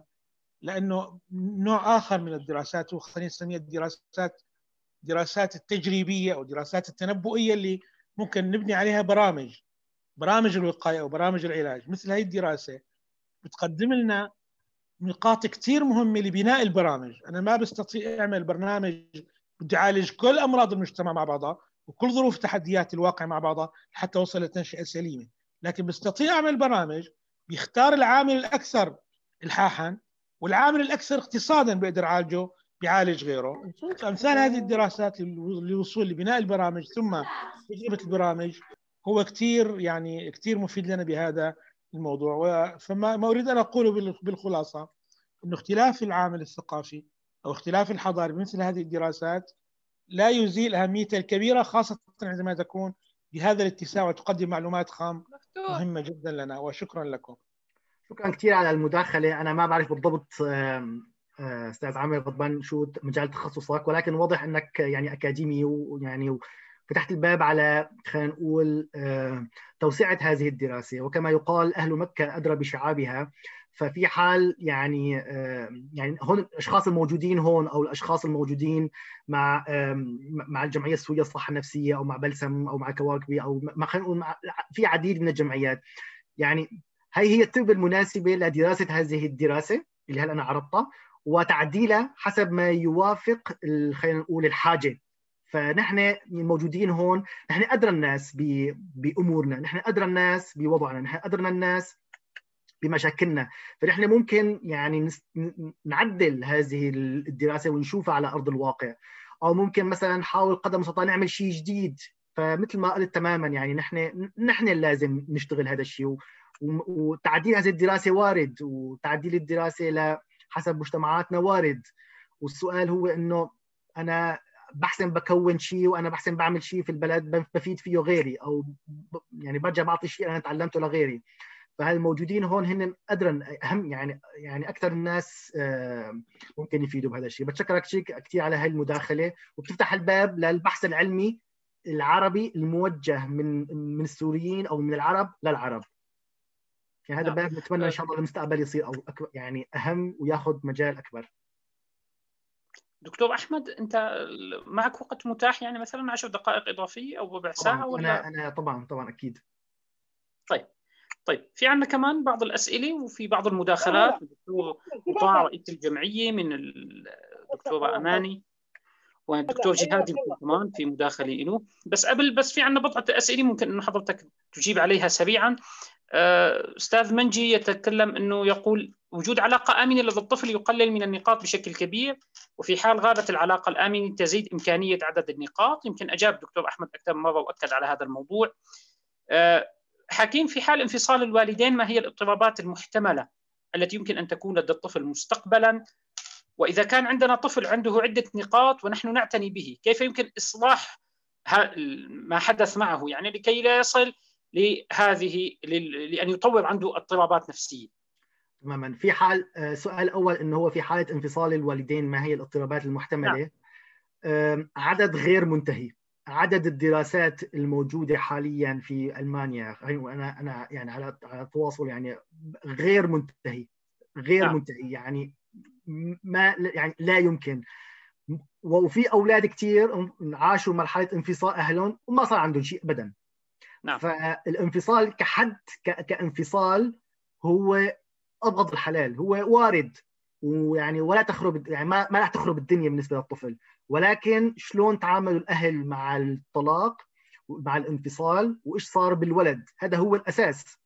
فأنا يعني قضيت أنا كأب مثلا عمال أحكي على طليقتي وعمال أسبها ويعني وأحكي عليها بشكل سيء قدام الولد وأمنعه يزور أمه. فهذا كله عوامل بتخلي الانفصال ياخذ دور أكبر. وهذا واقع حقيقه. أنا يعني في المجتمع اللي أنا عايش فيه حقيقه يعني خلينا نقول أكثر من نصف مرضاتنا بالعيادة هن من الأولاد اللي اهلهم منفصلين. ويعني حتى بعد ما يصير عمرهم 20 سنة و30 سنة بيتموا بيعانوا منها فهذا كسؤال جوابه عبارة عن يعني يعني محاضرات طويلة وكتب تكتب بهذا المجال هلا إذا كان نعم. عندنا طفل له عدة نقاط آه، ونحن نعتني به كيف نقوم بإصلاحه كي لا يصل للأشياء السلبية نعم. آه، هلا هذا يا أختي هذا الكتب هذا السؤال يعني هذا هو اسمه يعني علاج الصدمة أو علاج تروما ثيرابي هون مثل أنا ذكرتها بالأول يعني إذا كانت كل نقطة هي عبارة عن جرح فأنا الجرح لازم حتى وإن كان يعني ملتهب لازم أفتح الجرح وأشوف انظف الجرح وأخليه يلتئم شوي شوي. فأنا بدي أفتح الجرح لازم يكون ضمن يعني خلينا نقول آه، جو مناسب. الأشخاص اللي بدهم يفتحوا الجرح لازم يكونوا مؤهلين عندهم قدرة على خلينا نقول التعامل مع هيك أطفال. ما أي حدا يخطر له إنه يلا هذا الولد مثلا تعرض للاعتداء الجنسي أنا بسأله وبفتح معه الحديث وبشوف بركي بحاول بساعده. لا ابدا.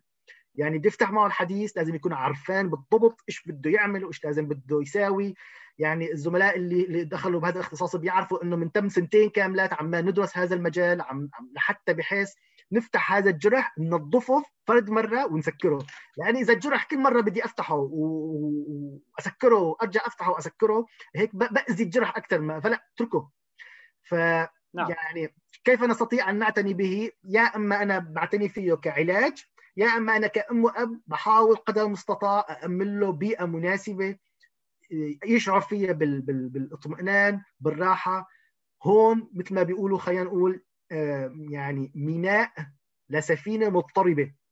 سفينة نعم. مكسرة فيها كثير ألواح خشبية متهالكة فبعرض البحر لا يمكن تصليحها. لازم توصل إلى ميناء تشعر فيه السفينة إنه خلاص هون في آه، خلينا نقول جفاف هون ممكن تصليح السفينة. فهذا نفس الشيء للطفل. لازم أول شيء يستقر يعرف إنه هون آمن وشوي شوي هو لحاله بيحكي إيش في نقاط ممكن واحد يساعده فيها للطفل. نعم. طيب دكتور أحمد في سؤال هل هناك دراسة تناولت قوة النقاط العشر بالتأثير على الاكتئاب أو أي مرض؟ وهل راعت الجانب الوراثي لمرض معين؟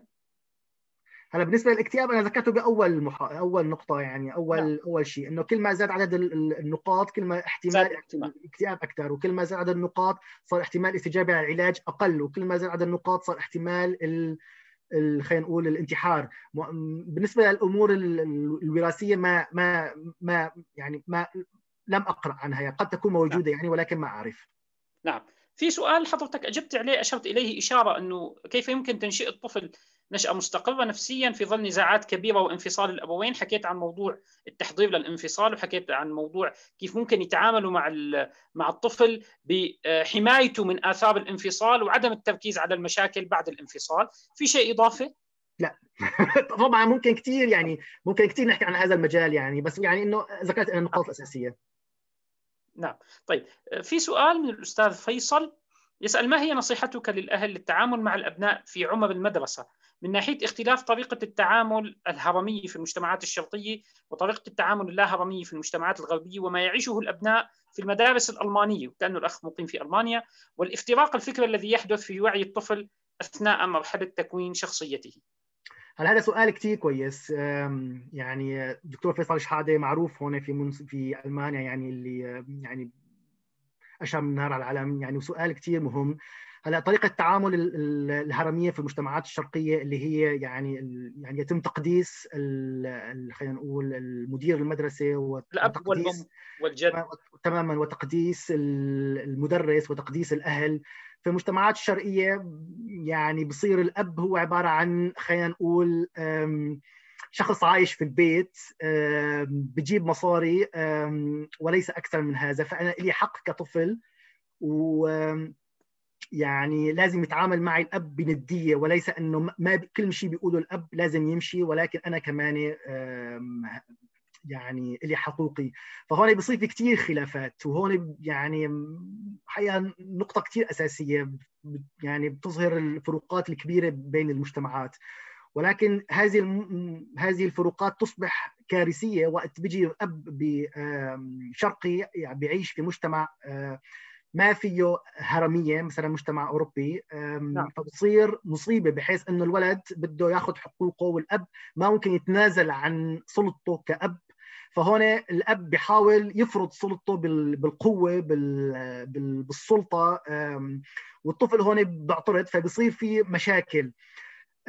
موضوع حقيقة كثير كثير موضوع مهم وصعب الجواب عليه ولكن ولكن أنا إذا كنت شخص متحضر فأنا يعني خلينا نقول عذرا هذه الكلمة يعني ليس شخص متحضر ولكن أنا بهمني أنا ابني فأنا بريد إنه ابني ما يشعر إنه هو يعني بأسفل الهرم ولكن أنا بريد أعطيه آه، دفع أكبر بريد أعطيه يشعر بأهميته فلا هو إنسان عايش في هذا المجتمع له حقوقه وأنا بحاول قدر المستطاع أخفف من سلطتي كأب في البيت. أنا أبوك ولكن أنت بدك تطلع أعطيني اعمل معي آه، حديث لحتى أفهم إيش وجهة نظرك يعني اخذه بالحوار. هذا هون دخلنا على مستوى كثير عالي إنه أنا شلون بعزز ثقة ابني بهذا المجتمع. أنا إذا بدي أعيش أنا إذا شخص شرقي بقمع ابني و وبده بدي إياه يعيش ابني في البيت ويعني ويحترم سلطتي فأنا طلع ابني برات البيت مكسور. فأي حدا ممكن يعتدي عليه أو أي حدا ممكن يأذيه لأني هو بعتبر حاله إنه هو درجة ثانية فكمان أنا في البيت بدي أضحي شوي. يعني أنا إذا كنت أنا عايش بسوريا فأكيد رح تكون سلطتي في البيت أكبر. ما أنا هلأ أنا عايش هون في ألمانيا. فموضوع يعني موضوع جدا يعني جوهري وأساسي لل خلينا نقول للجاليه العربية اللي عايشة هون في ألمانيا. قد أنا بعطي لابني مجال ليكبر؟ لي... وش قد أنا بصغر من حالي؟ ولكن بالمقابل ما بروح هويتي. وانتمائي العربي وثقافتي الشرقية اللي أنا بتم أبوك مع ذلك بعطيك حرية. يعني هون لا. شوي موضوع ما زال بحاجة لكثير نقاش ودسكسيون أكيد يعني حديث. شكرا دكتور فيصل على السؤال. شكرا للمداخلة والكلام المعمق والجميل من الدكتور أحمد. في آه، مداخلة من الدكتور مطاع بركات رئيس الجمعية السورية للصحة النفسية سمح وتوقع ممكن إنه تتناول جزء من اللي انحكى بآخر شيء كون الدكتور مطاع من العاملين آه، من الدكاتره آه، في علم النفس المهتمين جدا بموضوع الأسرة وهو يعيش في في بولندا حاليا ولديه عدد من الأبحاث والكتابات في موضوع الأسرة. كونه آخر سؤال كان يتكلم عن موضوع الأسرة وصعوبات ممكن التأقلم أو التكيف مع العيش في بيئات آه، مختلفة ثقافيا مثل البيئة الغربية بالمقارنة مع البيئة العربية. تفضل دكتور مطاع. حياكم الله. الله يعطيكم العافية دكتور أحمد الحذوري. شكرا جزيلا لمحاضرتك القيمة واللي أثارت كل هذا الاهتمام وكل هذه الأسئلة. واضح التفاعل مع ما طرحته. والشكر الجزيل أيضا لك دكتور إسماعيل لإدارتك الأنيقة آه، ولحضورك الفاعل. يعني الذي أغنى الموضوع واستطعت أن يكون لك وجود جميل معنا الحقيقة. الله يكرمكم. يعني الدراسة التي يشير إليها الدكتور أحمد الحزوري هي يعني يعني شكل من أشكال البحث العلمي ليس هو الأقوى بطبيعة الحال. وهناك عدة أشكال من البحث العلمي. علينا أن لا ننسى هي ليست دراسة تجريبية هي ليست دراسة للأثر هي ليست دراسة تسعى إلى عمل موديل نظري هي عبارة عن مجموعة من الأسئلة المسحية التي تعتمد على استطلاعات الرأي للناس الذي يقول فيها على سبيل المثال تعرضت للعنف الأسري في صغري.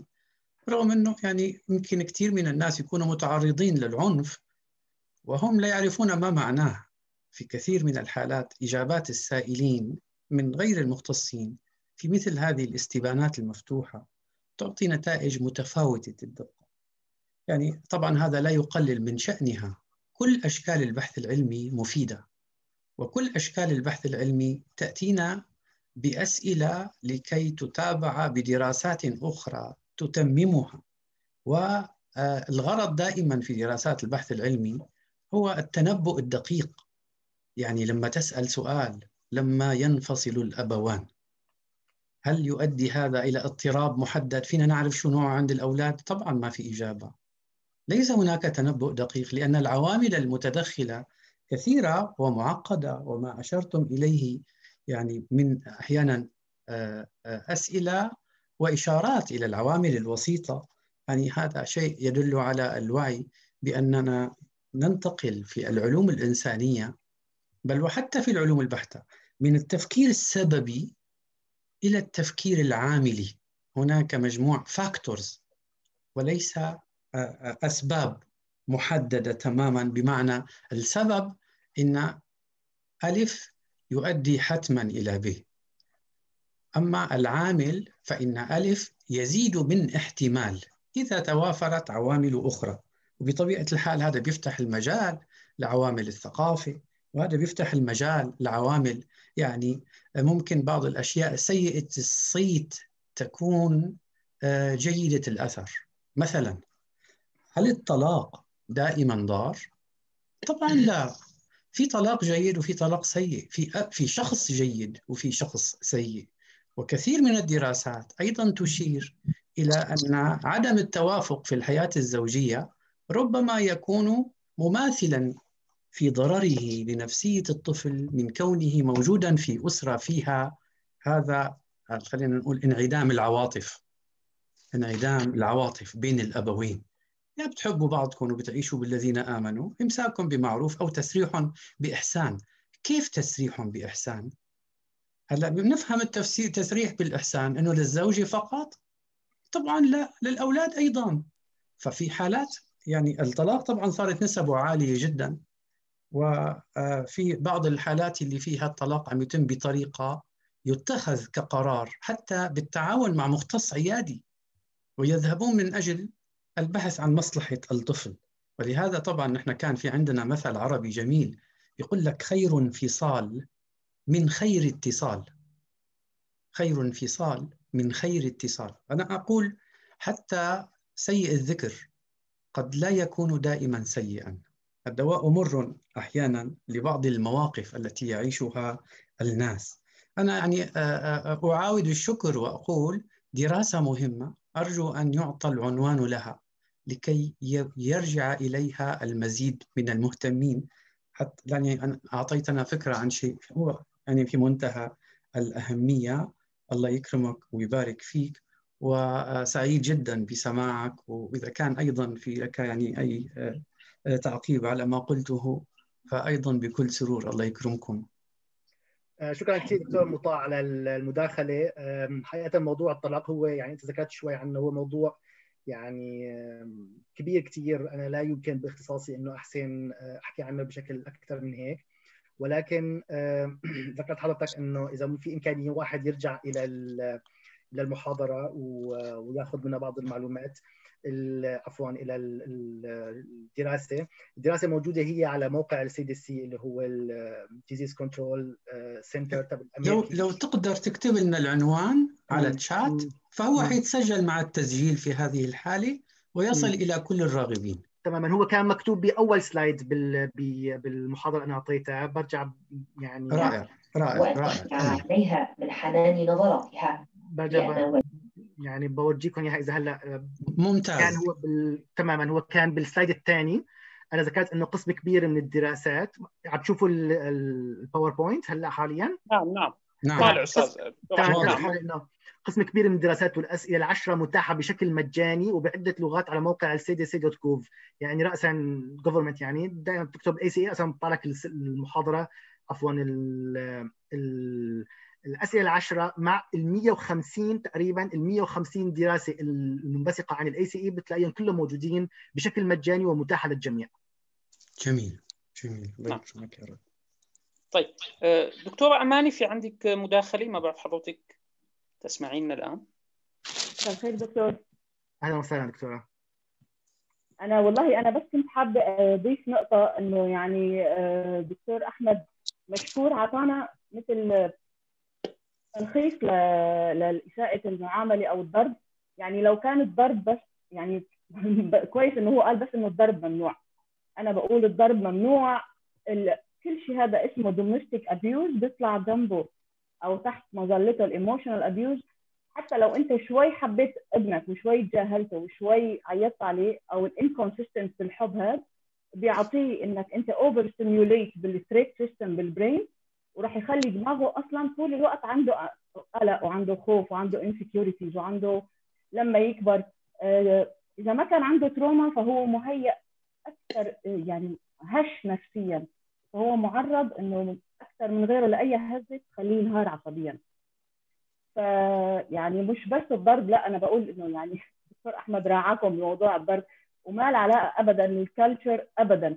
لو نحن تربيتنا صح ما كان عندنا هالكم من الأمراض النفسية اللي عم نشوفها بالعيادات. ما كان عندنا كمية ال- ال- الاضطرابات الاجتماعية والطلاق وال والخيانات والأمراض الاجتماعية الكثيره اللي عم نشوفها. نحن تربيتنا مع كل الاحترام أنا بعطي ال authority وال power كله للأب والأم بس بالحب إنه المفروض الرسالة تكون unconditional love. أنا بدي أحبك مهما عملت. أنا أنت ابني وأنا بحبك مهما عملت لكن أنا بزعل منك بالتصرف هذا أنا بكون مبسوطة أكثر لو عملت هذا الشيء. بس أنا بحبك من دون أي شروط. لأني أي شرط لو أنا بحبك لو كنت شاطر فمعناتها حبي لابني صار في دماغه هو مشروط. فالعلاج لهالأطفال كلياتهم اللي عندهم جروح أو ندوب أو ضحايا الحرمان الوجداني هي بال compassion therapy في آه، علاج جديد اسمه ال compassion therapy يعني إنك أنت تقوي عنده ال soothing system وتدعمه. تعطيه الحب تعطيه الأمان تعطيه الرعاية تعطيه ال unconditional love أنا بحبك من دون شروط. بحبك وأنت فاشل بحبك وأنت ناجح بحبك وأنت آه، سعيد وأنت تعيش وبكل أحوالك. هذا اللي بيعطيه أصلا مثل المناعة النفسية. وبالنسبة حتى للمناعة الجسدية لما بيكون ال immune system نفسه بيضعف من من الإساءة أو ال emotional abuse اللي عنده بيصير عنده أمراض cold and flu ش كثير كل شوي بيزحل كل شوي بمرض كل شوي بتهوي له ذاته كله بسبب عدم هو ما حس إنه هو مهم بهالبيت. ما عنده appreciation ما عنده على فكرة الاحتياجات النفسية السيكولوجية للطفل أهم بكثير من الاحتياجات الجسدية أو بنفس الأهمية. فنحن لما عم بيكبر okay نحن كبرنا وتعودنا نقول نعم وحاضر و... و... بس نحن عندنا insecurities بشكل مش طبيعي عدم الشعور بالأمان. نحن عندنا خوف من التعبير عن رأينا. نحن عندنا خوف من إنه آه، نعبر عن احتياجاتنا عن نحن عندنا خوف إنه إذا عبرنا مع الطرف الآخر ممكن نخسره سواء كنا رجال أو نساء. أنا بخاف أعبر بأي علاقة بخاف أخسر شغلي بخاف أخسر مكانتي بخاف. نحن دائما عندنا insecurities بشكل مش طبيعي. ما عندنا need to be needed دائما عندنا إنه أنا بس بقبل بأي وضع مشان أستمر مشان نعيش مشان نكمل. فهذا كله متراكم على جروح متعفنه فمحتاجين مش بس نفتح الجروح ونعقمها ونتصالح معها ونكون فخورين فيها. بس أنا أنا بشكرك جدا يا دكتور أحمد والله يعني بصراحة يعني أنت عم تقولنا إنه معلش بالضرب وشو لا لا لا لا ممنوع تماما أي ظرف لا ضرب ولا إساءة ولا تجاهل ولا inconsistent love ولا ولا حتى يعني أنت لو تجاهلت قلت لو الأم إذا ابنها بده يحكي معه وكانت مشغولة في الموبايل هذا اسمه emotional abuse لو قارنته بغيره اسمه emotional abuse لو اتريقت عليه أو مسخرت عليه اسمه emotional abuse لو ما ردت عليه اسمه emotional abuse لو ما دعمته لو اجى الطفل عند أمه وقال لأنه أنا في عندي مشكلة لو قالت له أنت السبب وأنت اللي ما تعرف تختار وانت وأنت اللوم أو عطيته bad times هذا كمان اسمه emotional abuse المفروض تدعميه تحبيه تحضنيه وبعدين نتحاسب لما بيقوى نتحاسب تماما. بتشكر كثير دكتور عماني على المداخلة وأنا يعني أنا وقت ذكرت الفرق بين خلينا نقول ضرب الطفل وبين تعنيف الطفل اللفظي. آه، ممكن يعني نختلف هلأ آه، مين مين أثره أكبر. ولكن أنا رأيي كأخصائي بالأمراض النفسية التعنيف اللفظي هو أشد أذى وضرر على الطفل من ضربه الجسدي. يعني الضرب الجسدي مؤلم طبعاً للطفل. ولكن خلينا نقول التعنيف اللفظي هو أثره أكبر. وهلأ يعني الحقيقة في كثير دراسات وممكن نعمل محاضرة عنها كمان آه، على أثر التعذيب أو خلينا نقول العنف اللفظي على الطفل. هون ليس فقط على الطفل نفسيا ولكن جسميا. يعني هلأ اللي بنعرفه نحن إنه التعذيب أو خلينا نقول الأذى اللفظي بيعمل تغير في بنية الدماغ على مستوى الاميجدولا بتمنى إنه تكون كمان بالانجليزي تماما بالألماني هي اسمها اميجدولا كل ما تعرض الولد أو الشخص لأذى أكبر مو جسدي. أذى يعني سواء بنضرب عمال يبهدلوه في المدرسة يضحكوا عليه بالبيت ما عمال يهتموا فيه. فكل ما تكبر ال amygdala وال amygdala هي المسؤولة عن هي مسؤولة عن الخوف هي مسؤولة عن التوتر.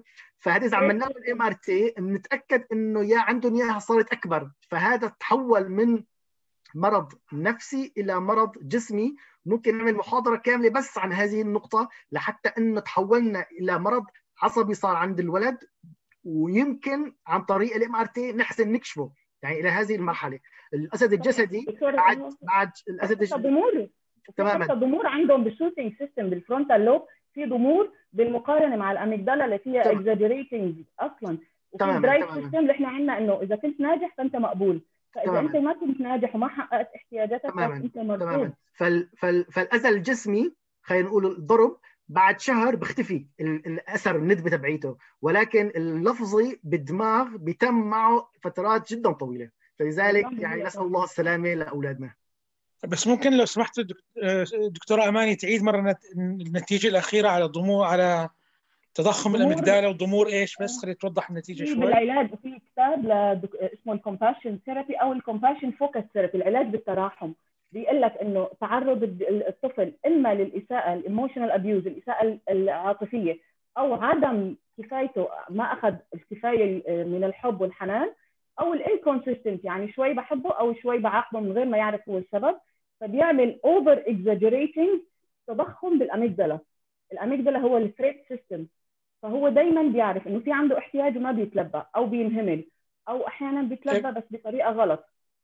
بس شو الضمور الضمور وين بصير بالأميج... الضمور بال frontal lobe بال بال frontal lobe هو المكان ال soothing system يلي بيطلع لي ال oxytocin بيطلع لي الهرمونات اللي فيها الإندورفين. تمام. بيحصل ضمور بال frontal lobe وفي exaggerating بال threat system فبيكون عنده دايما تهيؤ عقلي إنه أنا ال world is not safe place العالم مش مكان آمن. I'm not good enough أنا مش شخص جيد. أنا شخص سيء. لأن دايما في بتتم مقارنته حتى بتتم مقارنته بالأخوات. والله أخوك الكبير ما عذبني أو أختك الكبيرة ما عذبتني. أي مقارنة اسمها إساءة. أي آه، عدم كفاية بالحب اسمه إساءة. أي يعني تذبذب بالمعاملة اسمه إساءة. أنا يعني مثلا أنا شوي مثلا في الناس ال toxic الأمهات ال narcissistic شوي بتكون بتحبه شوي بتكون بت بتكون مثلا بت بتعنفه شوي بتتجاهله شوي بتكون ملتهية شوي بتكون ما فاضي لك روح بعدين. هذا كله التجاهل اسمه emotional abuse وبيكون عنده exaggerating بال amygdala بال threat system في drive system و threat system و soothing system فال soothing أو التدليع هذا بيكون ضامر. إنما المتضخم عنده هو ال threat system بال amygdala بال emotional brain. شكرا دكتورة أماني للمداخلة. في عنا آخر مداخلة من الدكتور جهاد قبل ما نختم لقائنا اليوم. تفضل دكتور جهاد. السلام عليكم ورحمة الله. إذا في آخرين بدي يعملوا مداخلة ما في مشكلة بس أنا لا لا تفضل حضرتك. أنا بتشكر الدكتور إسماعيل بالبداية وبتشكر الدكتور أحمد لتلبيته الدعوة وإعطائه المحاضرة فهذا أسعدنا جدا بوجوده. صراحة ما حبيت ينتهي اللقاء ب أيضا ب يعني بالتجارب السيئة لأنه صراحة بالسنوات الماضية تم الحديث بشكل كبير ليس عن موضوع التجارب السيئة عن مصطلح قد تم الحديث عنه بشكل أو بآخر أو بشكل جانبي اليوم. واللي عم تصير عليه دراسات حاليا هو موضوع الريزيلينس هو موضوع المرونة النفسية. صراحة يعني صفينا إحنا وقت نحكي مع اللاجئين أو نشوف اللاجئين الموجودين هون بألمانيا أو اللي عم يجوا لهون بنشوف الناس تعرضوا لتجارب سيئة. إذا أخذناها بالمعنى الضيق اللي انحكى اليوم في ناس ناجحين. في ناس تطوروا في ناس وصلوا لشيء مختلف في ناس يعني كانوا سليمين أو قد يكون يعني ناجحين بحياتهم أقل ما يمكن. فالسؤال ليش هدول نجحوا؟ شو المعايير اللي خلتهم إنه هدول مع إنه تعرضوا تعرضوا لنتائج أو تجارب سيئة ينجحوا بحياتهم؟ ففي أسئلة كثير عن موضوع المرونة النفسية والمقاومة اللي اللي بتصير عند الأطفال وعدم يعني حصول الأمراض النفسية بشكل معاكس.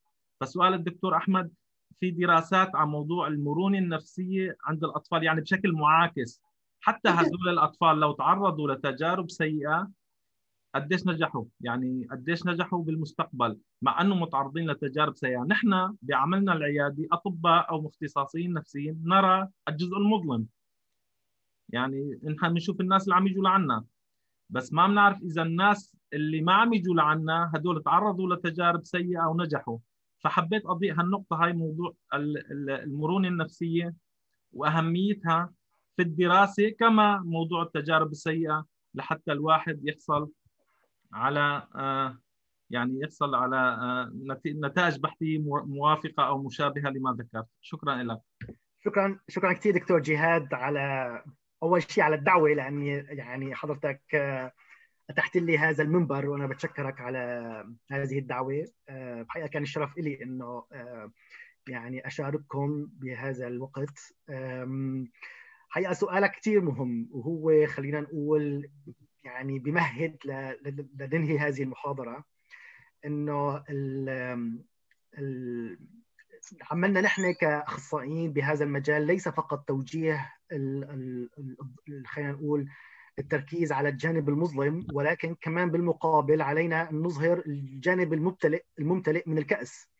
اللي هو خلينا نقول ال resilience اللي ذكرته حضرتك أو هي العوامل اللي بتقي الشخص من إصابة بالأمراض مع العلم إنه هو عنده أكثر من ACE عنده أكثر من نقطة. موضوع مهم كثير يعني و أساسي. أنا آخذ منه فقط نقطة واحدة فقط وأذكرها هلأ وراح يبقى نقاط كثير ما لا يتسع المكان إلى ذكرى أو الوقت إلى ذكرى. وممكن دكتور جهاد يعني بعد إنه أنت يعني يعني حكيت أكثر من موقف عن هذا هذه عن هذا المجال. ولكن أنا بالنسبة لي كأخصائي في طب الأطفال بشوف أهم نقطة بالريزيلينس أهم نقطة بال بعدم تطور هذه الأمراض هو الدعم من الأهل. كل ما كانوا الأهل موجودين كل ما كان وضع الولد أفضل. في أحد الدراسات اللي صارت بالحرب العالمية الثانية ببريطانيا. بالحرب العالمية الثانية وقت اللي صار القصف على عفوا بالحرب العالمية وقت صار القصف على لندن قاطنين في لندن بعثوا أولادهم إلى منطقه متطرفة عشان ينحموا من القصف أو القذائف اللي عمال تصير.